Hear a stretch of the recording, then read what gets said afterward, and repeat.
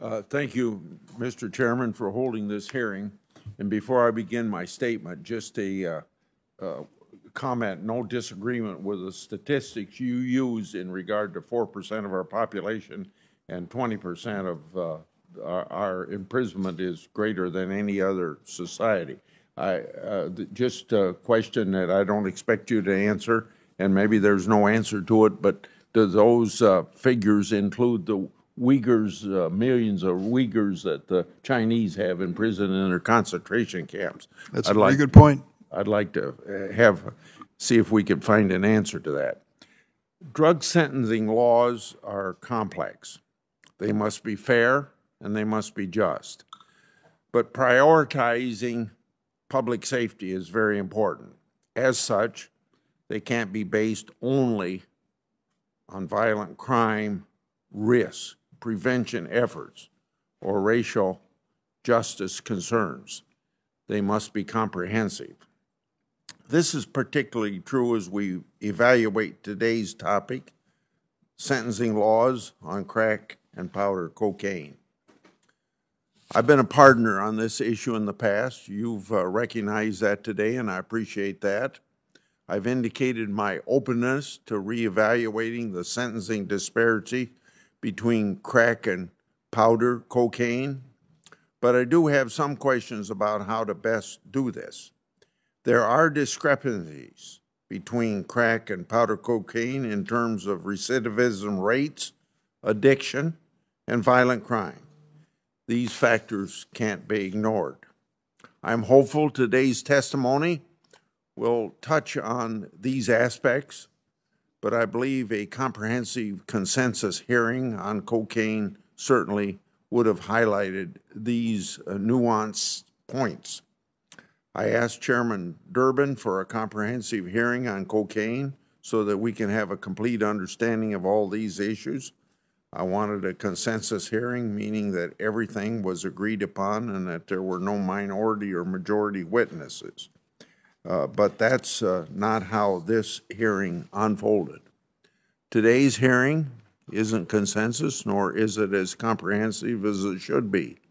Instead, this hearing is focused only on sentencing issues, particularly in de- deference to the Equal Act. And I have told people that I'm willing to look at uh, some sort of reduction in the disparity that exists today.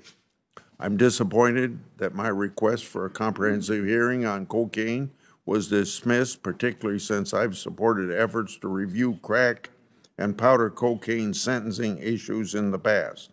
I co-sponsored the Fair Sentencing Act, which changed the 101 to 1 sentencing ratio for crack and powder cocaine to where it is today, 18 to 1. I supported this change uh, being made retroactive in the First Step Act.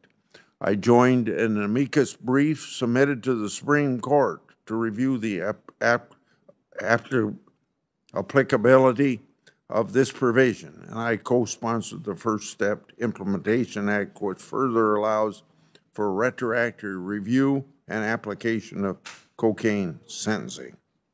We've accomplished a lot in this area already, and maybe there's more that can be done, and I've already indicated my willingness to talk about those things.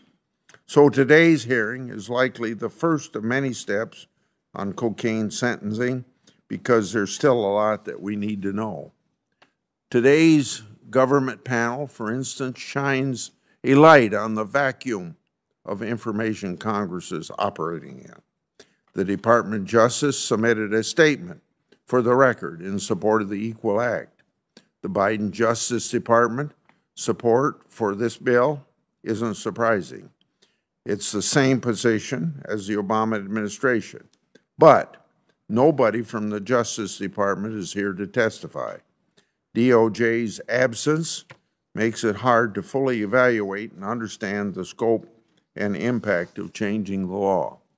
And while the United States Sentencing Commission has released excellent reports on federal drug sentencing laws, its most recent comprehensive report on cocaine sentencing was as far back as 2007.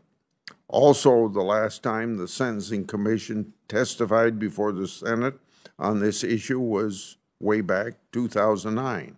At that time, they stated the sentencing ratio of crack and powder cocaine shouldn't be higher than 20 to 1.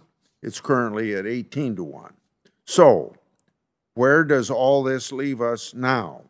I'm worried we're barreling down legislation without a complete picture of the issue or the necessary government witnesses before us today.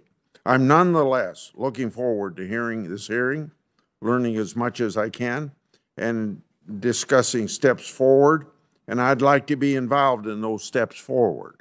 I hope the future of this discussion will highlight a variety of perspectives and be more collaborative as we seek to find a solution together. Thank you, Mr. Chairman.